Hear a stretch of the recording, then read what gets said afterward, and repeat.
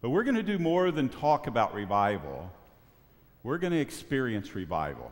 Can you say amen? amen? Isn't it about time we stop just talking about the things of God and begin to experience the things of God? For many years, I've had the opportunity to read through the Bible, and hopefully, we'll have an opportunity to do that as a church. I like reading the Bible together, having a specific plan where we're all reading the same thing at the same time. And then, what I have customarily done is, as we've done that week's, week's reading, I've picked something from that passage that you have read that week and that we kind of listen to what God is trying to say to us from the scriptures. You know, that's a different kind of way to study the Bible. It's not just to try to find out dates and places and uh, the history of what has happened and all of the facts, but to listen to God speak to us from His Word. It's powerful. It's transformative to open the Bible and to try to hear God's voice speak to us about the experience that we're going through. As I've done that and I've reached some portions of the Old Testament where you read about God's people, the, the Israelites, you know, the God's people had some good times and they had some bad times. In fact, they had a lot of bad times, unfortunately. And it wasn't really God's fault because God was very clear what he wanted from his people and what he wanted to do through his people.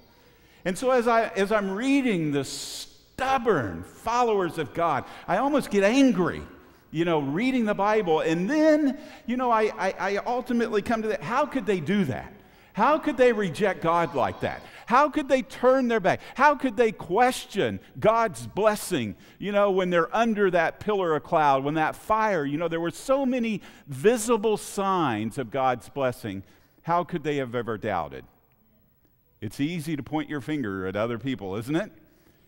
And then ultimately, as God usually does, He turns it around and and really begins to speak to our own hearts that aren't we just as guilty? Throughout the Old Testament, particularly where the area that we're going to be studying about, we're going to get to that in just a moment. God laid out that there was a way for God's people to be blessed. And not just to be blessed, but to be blessed above all the people of the earth. He said that. If you will do what I'm asking you to do, I will bless you above all the people of the earth. I believe that's still God's will for, for us. I believe God's people should be the head and not the tail that we should be blessed above all the people of the earth, not just so that we have things, not just that we're increased in, in, in physical things, but I'm talking about spiritual blessings. I'm talking about emotional blessings, relational blessings. God wants that because He wants to use that as a way for other people to want to know Him. And so, as we're reading there in the Old Testament, we come along and we see these good times and we see some bad times. And it's amazing how good the good times are and how bad the bad times are. It reminds me of a verse of scripture I want you to turn to. Boy, if there's one principle, biblical principle, that it would be important for young and old to understand and embrace and just to accept the truth of it, it's taken from the book of Galatians. Galatians chapter 6 and verse 7. Galatians chapter 6 and verse 7 is our first text tonight, today, tonight, maybe it will be tonight. Here is a principle that we would do well to learn. Galatians 6 and verse 7. If you're there, say amen. You got it? I still hear some pages turning. Galatians chapter 6 and verse 7. This is an important text. Here it is. You know, those smartphones just don't make that noise. You know, I, I'm a digital guy, but I like the analog version of the Bible. I, I, I still use a digital one, but I just love to hear pages turn in God's church, don't you? And you know what? This battery never runs out. You don't have to worry about recharging this, you just have to worry about recharging this. All right, here it is Galatians chapter 6 and verse 7. Be not deceived, God is not mocked. You know, that's strong language. What, what, what, God is saying here is you better listen carefully to what is getting ready to follow because I'm not messing around. And I'm not going to be fooled. And this is important for us to know. Do not be deceived, for God is not mocked. For whatsoever a man soweth, that shall he also reap. Do you believe that? Oh, if we believe that to the point where we begin to live it, our lives would be spared so much heartache, so much hassle. Do not be deceived. God is not mocked. For whatsoever a man soweth, that shall he reap. It's called the law of the harvest. Here's what I've learned about the law of the harvest you reap what you sow. You reap what you sow. And also, another law of the harvest is you reap more than you sow.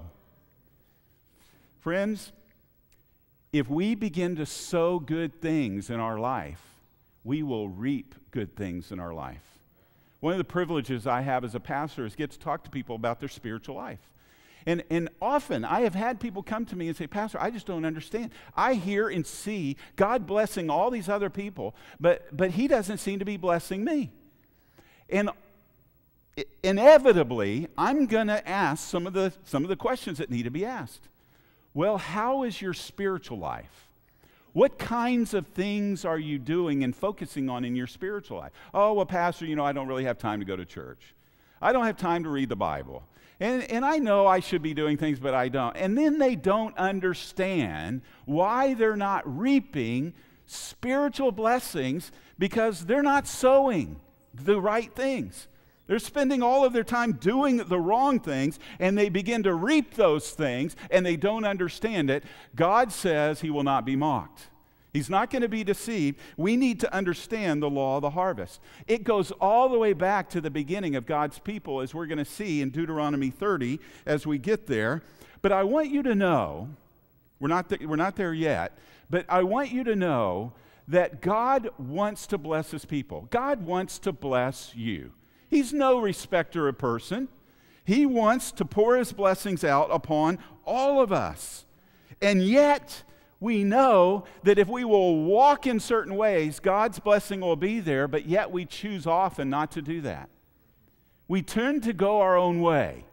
We tend to wander to this way or to that way. Just as it happened to the children of Israel, I believe it happens to us. It wasn't one day they woke up and said, We're not going to believe in God anymore. It wasn't that they woke up one day and said, We're not going to worship God anymore. In fact, they never stopped believing in God. They never stopped worshiping God. They just started worshiping other things too. You see, what I've learned about my relationship with God is it's all about the heart. God wants the heart, He wants the affections. He wants, he wants that love relationship. And friends, if I'm doing anything for God that isn't flowing out of the heart, God's going to have a problem with it. It's not about just going through the motions. It's not about just about doing the right thing. God wants us to do the right things, but He wants us to do the right things for the right reasons. Motive is important when it comes to God. And so they never stopped believing in Him, they never stopped worshiping Him. And I suspect that is easier to fall into than we might imagine. It's easy to find ourselves in that. And it's made me think a lot about the church today. You know, it, I think it's in Romans chapter 15, probably verse 9 or 6. It's these things were written aforetime for our learning. History has a way of repeating itself. Human nature doesn't change much. The mistakes they made in times of old are the same mistakes that we can fall into. And so I hope that when you read the Bible, you're willing to read this and to try to learn from the experiences of others so that you don't have to make the same mistakes that they did. So it's made me think a lot about the church today and asking the question is it possible we could be in the same situation, the same circumstance? That something is not right. As I look at the people of God today, where is that hunger in that thirst for righteousness? Where is that fervor? Where is that excitement for the things of God? Where is that passion for spiritual things? There's a passage that I believe describes what's happening in the church today, and I want to share it with you But before I do, I, I, you know, I want you to know I love this church. I hadn't been here very long, but I love this church and I love everyone in it.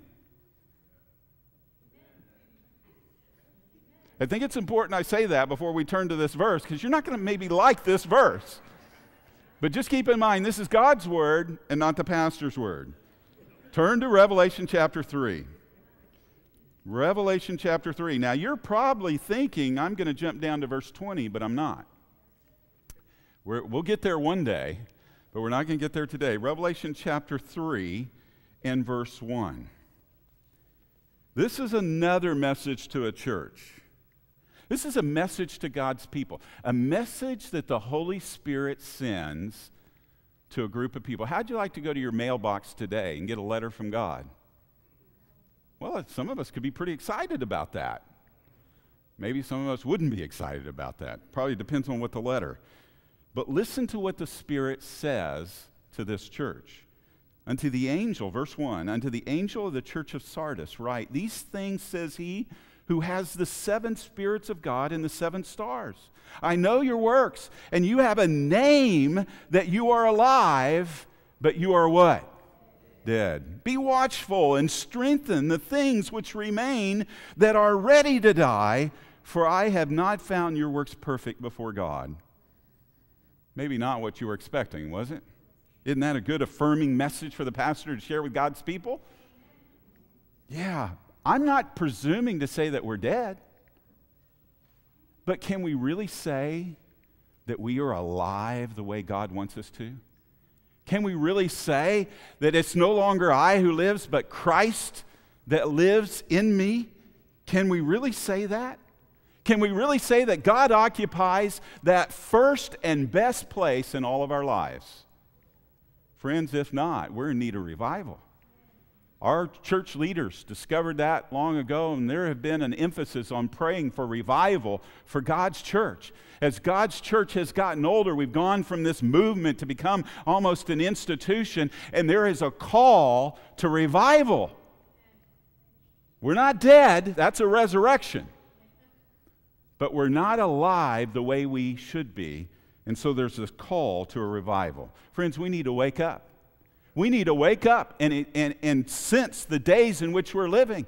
We need to understand that today is the day that we need to give our affections over to God unreservedly. You can't have a divided heart. God will not have that. If God doesn't have first place in your life, there's going to come a time when He's going to have no place. He has to be first. That's the issue of God's people. God's, God's people wanted a divided heart. They wanted to do the God's thing, but they also wanted to do their own thing. And God kept calling them back again and again and again. You have to love me with how much of your heart? All your heart. The Christian life doesn't work if your heart's divided between God and other things. It has to be given to Him. And so, friends, I want revival. I want that. I want that in my own life. I'm not just preaching to you, I'm preaching to myself. I need revival. I believe that we could very well be that last generation that is living to see Jesus comes. And I, that's saying something because I'm kind of old. That means we don't have a lot of time left.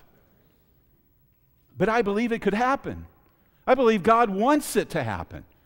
That just as much as we want the Lord to come, you think God is not tired of all of what we, he you know, all of what he sees here day by day? How much sinful can this world be? And so we need revival.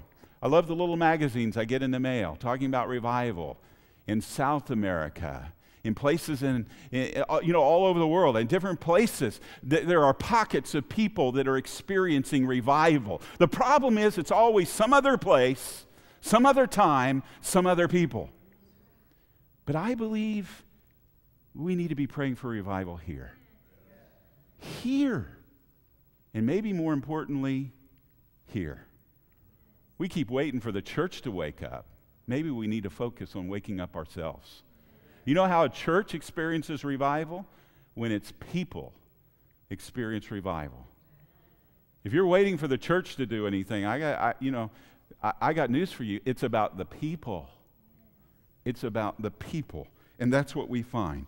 I love to hear about God's Spirit moving in other times and other places, but the cry of my heart is that I want it here. And here's the good news God wants it too. God wants it. He really wants it to happen. For, for too long, as, a, as a, when I became a Seventh day Adventist early on, and I was looking around the church, and it never just seemed to grow, and I'd have these people say, Oh, now, Bill, don't get oh, so discouraged. God knows we're not ready. Yeah. And so he's holding these people back. Have you ever heard that? Yeah, he's holding these other people back because we, we wouldn't know how to treat them if they came. And so this, this idea that we're in rebellion was almost a part of God's plan. That was the, the idea that he's holding these people back, and when we finally get ready, then they'll come. Well, I say, bring it on. We ought to, we ought to get our. If, if, look, if we know God wants revival even more than us, then the real issue is what's keeping us from experiencing revival? That's the question we have to be asking. It isn't that God is just holding this back, God wants it more than us.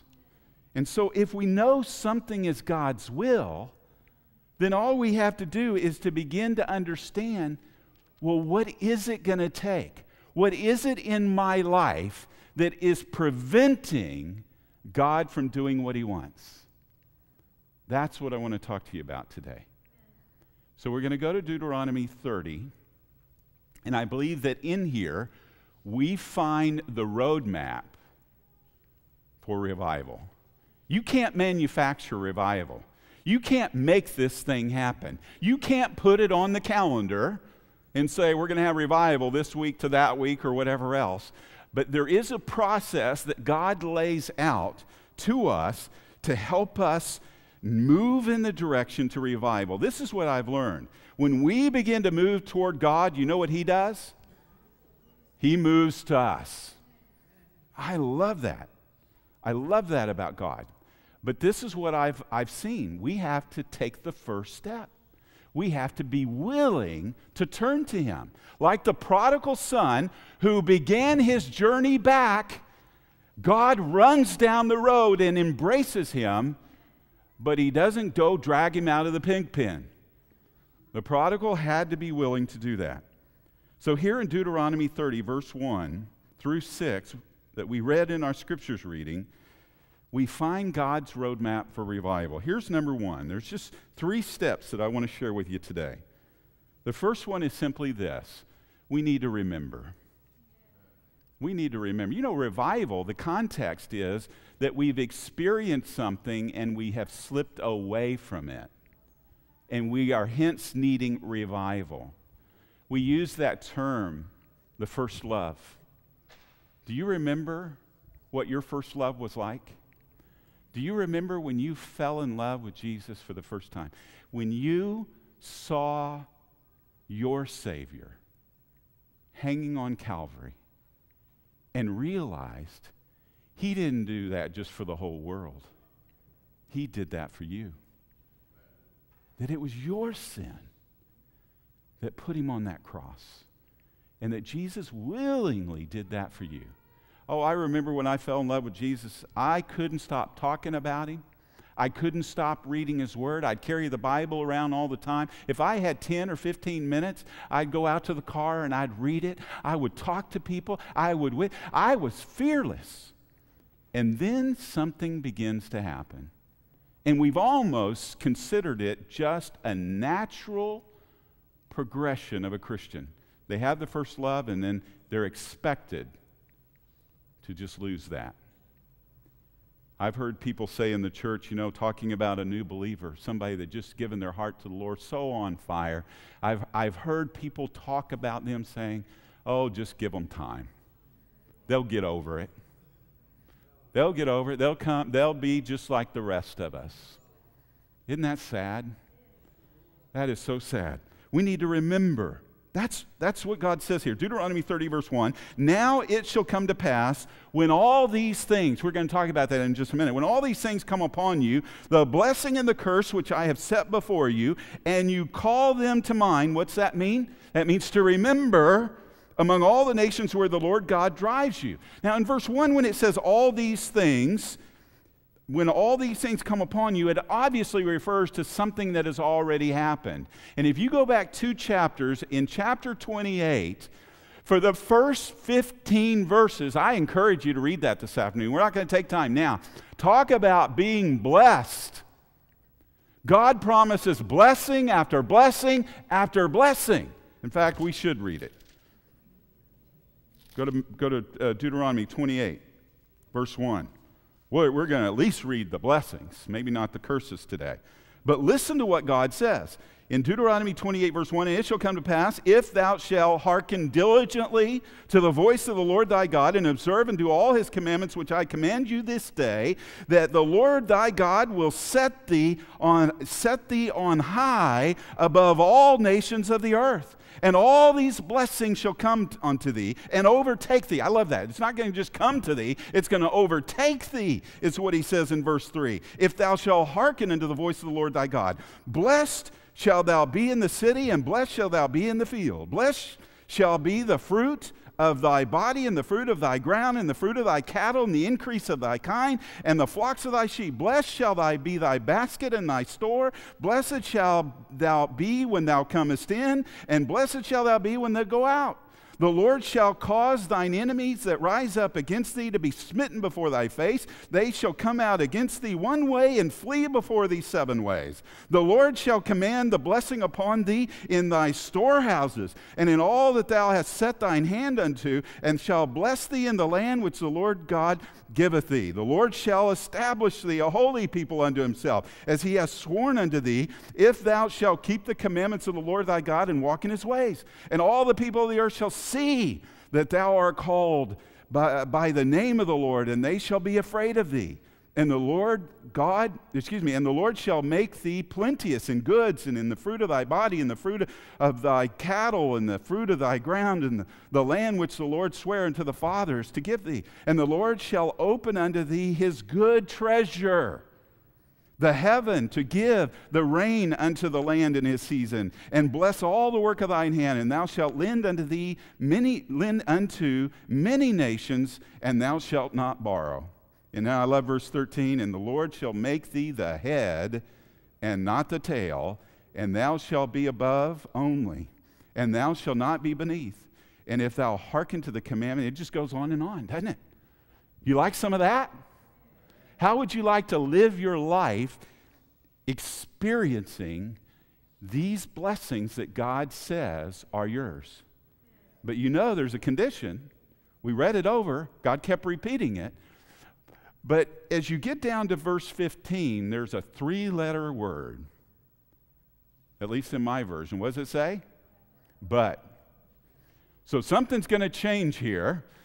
15 verses of blessing, and then we get to verse 15. He says, But it shall come to pass if thou will not hearken. And I want you to know, I counted them up, there's almost 50 verses of cursings. God's getting serious. God is getting serious. Now, why does he do this? Why does God lay it out like that? Because he wants to bless you, because he wants to bless his people. And he's telling you, again, God is not mocked, God won't be deceived. You're going to reap whatever you sow. And so God lays it out. He said, If you will do this, you will be blessed above all the people of the earth. But if you don't, all those blessings that I want to give you, I cannot give you. So, Deuteronomy 30, verse 1 God foresees a time when his people would choose to go in a way opposite, would choose the way of curses rather than the way of blessing.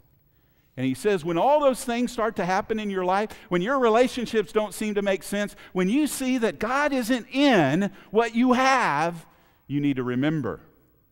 That's what he says. You need to remember. You see, it's not God's fault. It's not God's fault. When things are, don't go according to His plan, it's your fault. Let me say, let me say it this way. When I first became a Christian, I, I love the book of John. John's one of my favorite gospels. I love the way John refers to himself. How is that? The disciple whom Jesus loved. And as I would read that, you know what I thought? I want to be that guy. I want to be the one that Jesus loved. And then it dawned on me I could be. I could be. All of us can be. It's really about our own decision. It's about how much capacity we create in our own heart for God to fill it with His love.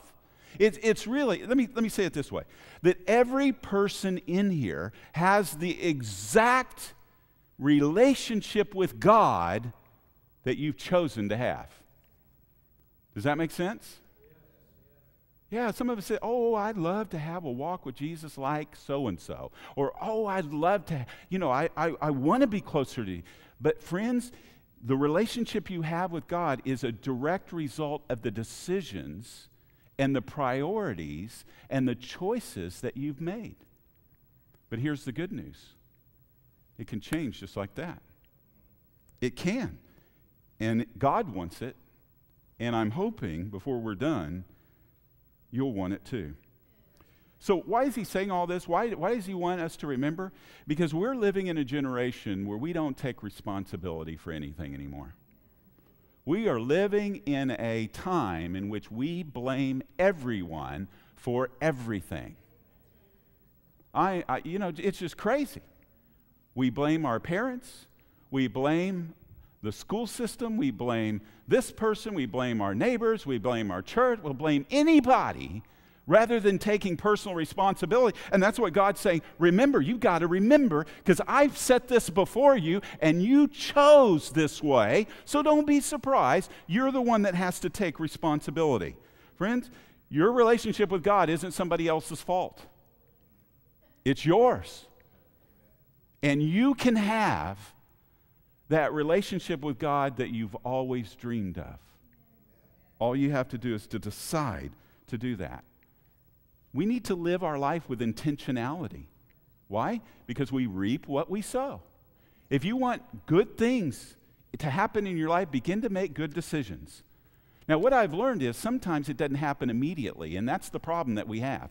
We do something right and we expect God just to open the windows and just, just take care of everything. I remember uh, I, I, I, started dating my wife, um, dating my wife. I dated my girlfriend, and I married her, and she became my wife.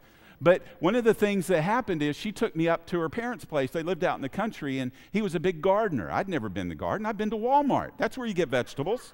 You know, you walk into Walmart and you pick out what you want or whatever else. And so he took me out there. It was July. It was in July, and he had this big garden. And I thought that was the coolest thing in the world to reach down on a plant and pick off something, and we ate it that day.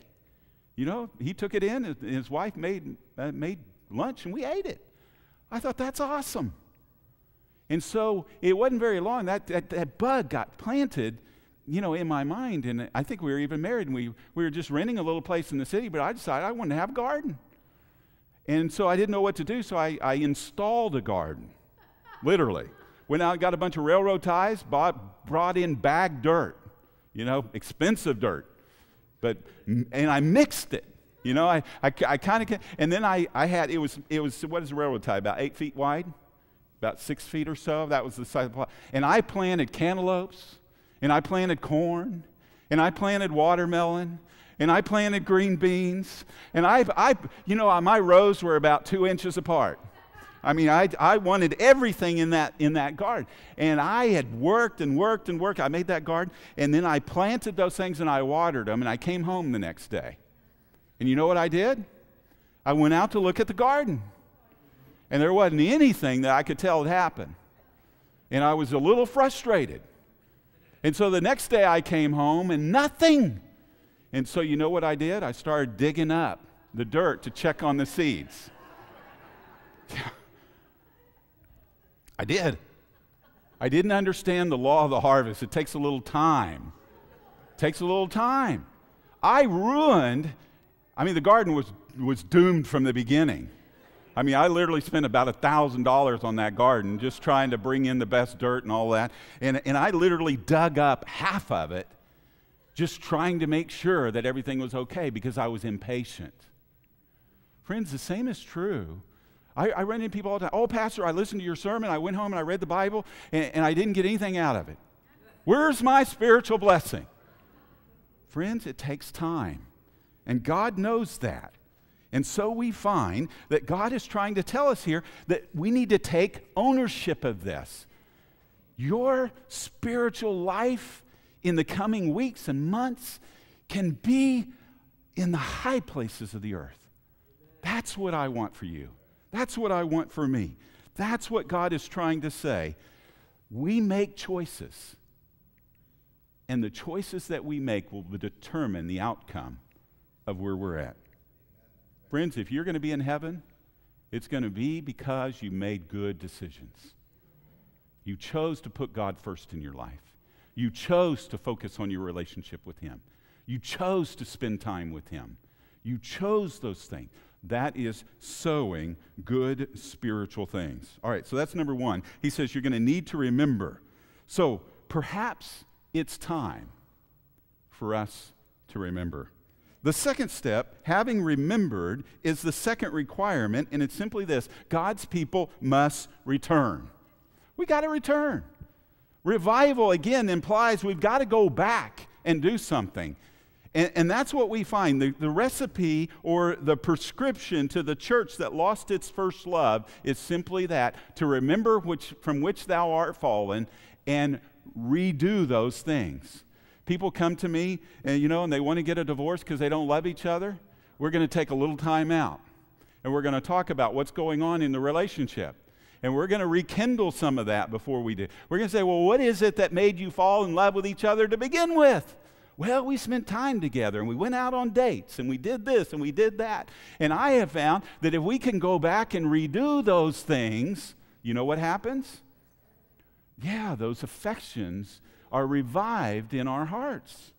And so God says to return. Look at verse 2.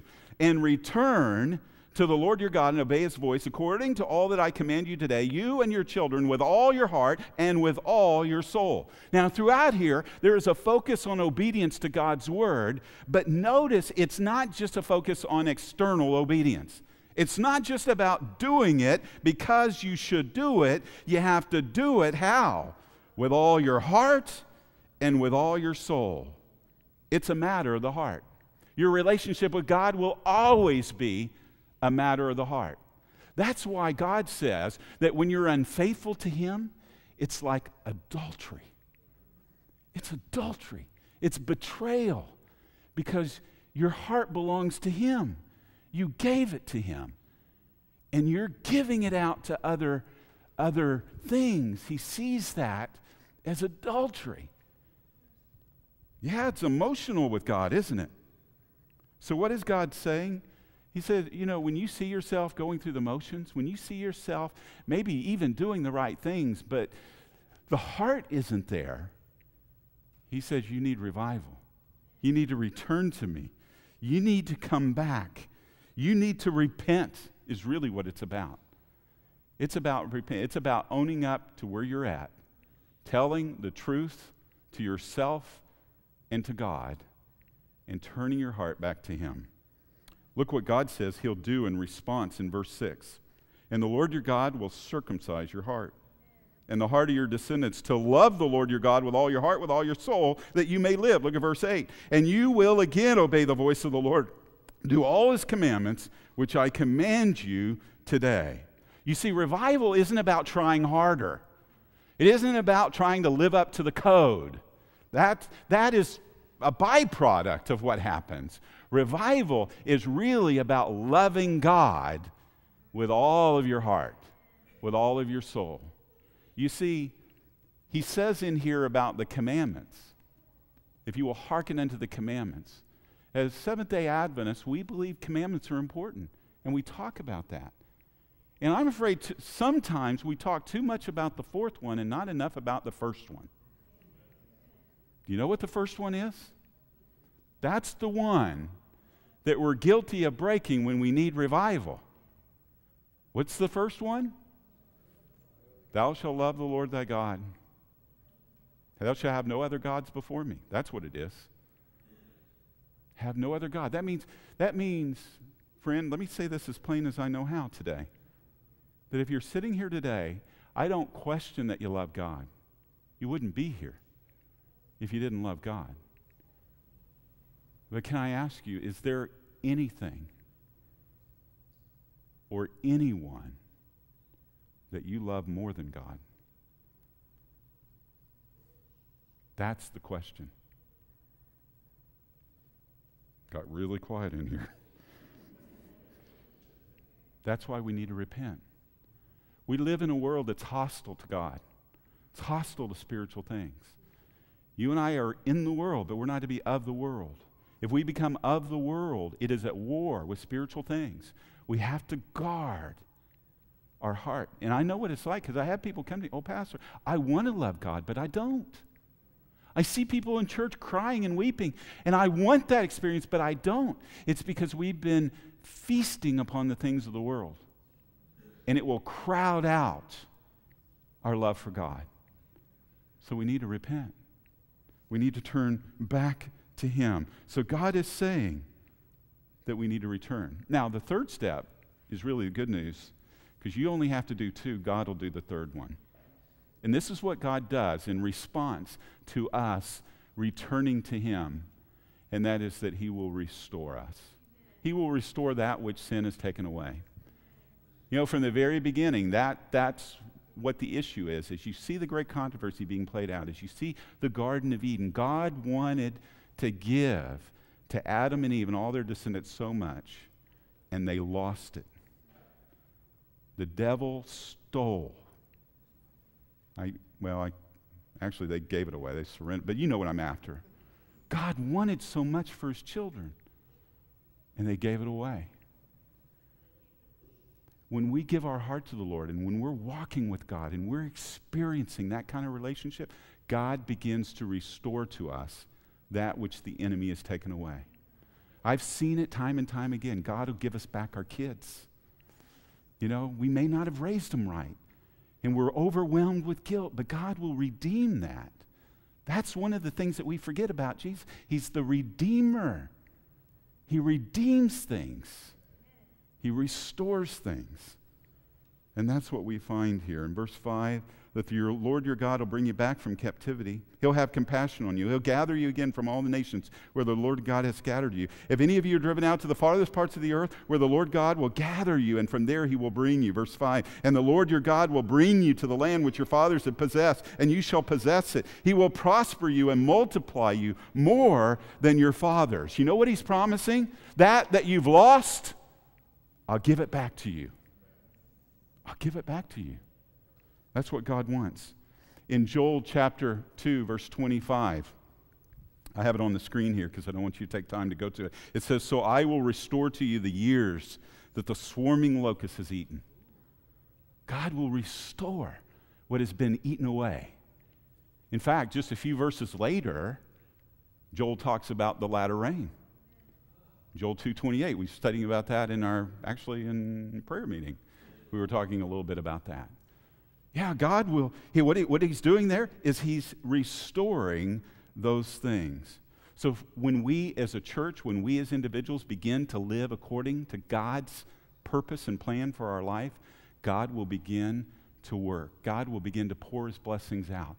God will begin to restore those things that maybe the enemy has taken away. But notice something really important here in verse 6. He says, And the Lord your God will circumcise your heart and the heart of your descendants to love the Lord your God with all your heart, with all your soul, that you may live. Did you get that? Why did he circumcise the heart? To love the Lord your God with all your heart. Again, this emphasis is in, internal. The circle is complete. We're to return to Him, and then God says, As you return to me, I will circumcise your heart. And He does that to give us a greater capacity to love Him. He cuts away the flesh and leaves a heart that's tender and open so that we will love Him even more. Would you like a heart that has a greater capacity to love God? Would you like that this morning? Wouldn't that be a great thing to leave church with? A heart that has a greater capacity to love God. Well, verse 9. And the Lord your God will make you abound in all the work of your hand, and the fruit of your body, the increase of your livestock, the produce of your land for good. The Lord will again rejoice over you for good. He has rejoiced over your fathers. I love that. I love when there's something that I can do that makes God happy. And that's what it is. It's not just that we're rejoicing, but the rejoicing here is God that rejoices. I mean, when we return to Him, that's why I know revival is part of God's plan. He can't wait for it to happen. And the Bible says that when He does, He rejoices over us.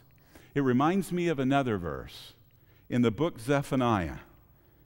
We're leaving Deuteronomy. This is our last text. In Zephaniah, it's right there near the end of the Old Testament, one of my favorite verses. Do you remember what it was like when you were in love? When you were, maybe you dropped your girlfriend off and went home? Remember that. That's what you're supposed to do. I used to drop Charlene off and I'd be in my car and I'd just break out in song. If I didn't know the words, I made them up. Just singing with all my heart.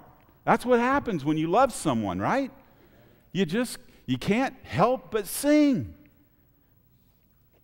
In Zephaniah chapter 3 verse 17, notice what God says here. And the Lord thy God in the midst of thee is mighty. He is mighty. He will save. He will rejoice over thee with joy. He will rest in his love. He will joy over thee with singing. Would you like to make God sing this morning? Man, I can't think of anything that'd be more exciting than watching and doing something that would make heaven rejoice. You know, the Bible says it is about the heart because when a man or woman walks down into that watery grave, it says that all of heaven rejoices. And when those of us that have maybe wandered away, maybe without ever leaving the house, when we turn our hearts back to Him, I believe He begins to sing. So let me ask you a question as we close today. How is it between you and God? Has there ever been a time when you've been more in love with Jesus than today? Has there ever been a time when you have walked with Him closer than you are today? Is there anything in your life that you love more than Jesus? If there is, friend, it's time to return. God, God is calling us to get serious. You know, we can pray for the outpouring of the Holy Spirit. But uh, I'm trying to think of the text in Acts. It's about Acts 7, 8, 9, 10, somewhere in there. God gives the Holy Spirit to those who obey Him. He isn't going to give us the outpouring of the Holy Spirit unless we're yielded to Him, unless we're willing to surrender. Now, I don't know what your practice is here, but I want to invite you to stand as we close. And we're going to sing a song, one of, one of my favorite hymns. My Jesus, I love thee. I want you to say the words. I want you to sing. Let this melody ring in your ears and in your heart. And if today you'd like to make a decision to just make sure that there's nothing between you and Jesus, if you're ready to make that surrender again, and I'm not, I, again, I don't mean that you've wandered far away, but that you're just ready to say, God, you're first in my life again, I want to invite you to step out and come to the front. This is a place. This is a place of sacrifice. This is a place of surrender. This is a place of commitment. This is a place of dedication and consecration. So, as the worship team leads us in this song, if you feel that just before you walk out of this building today, you want to make sure that Jesus doesn't pass you by, that you're ready to get serious with Him. As I said, we're going to talk about revival for a few more weeks. But our purpose is not just to talk about it, it's to experience it. If there was ever a time, the time is now. And it all starts with a matter of the heart. Do you love Jesus? So let's sing together as we close.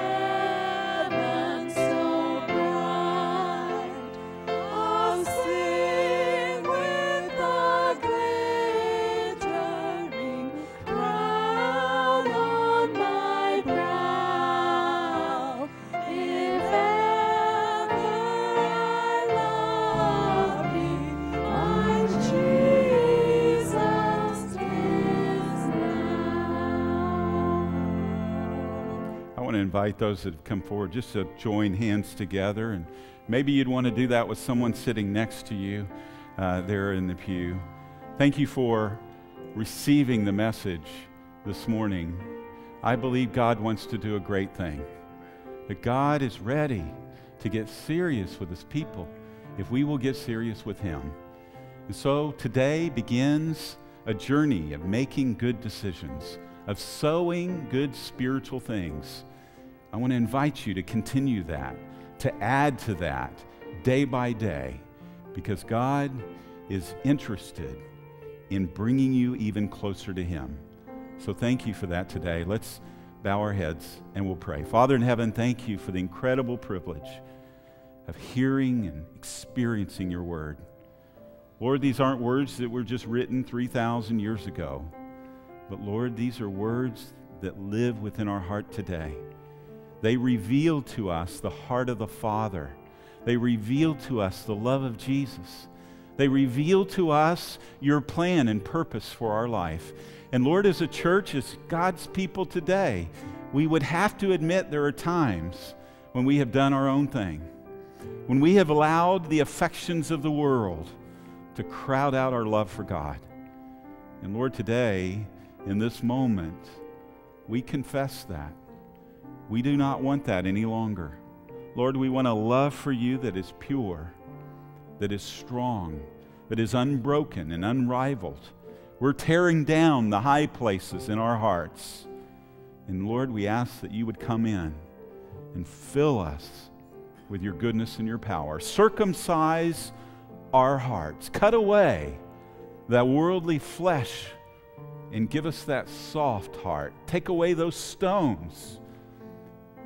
And Lord, give us a tender heart. And then, Lord, take up residence there.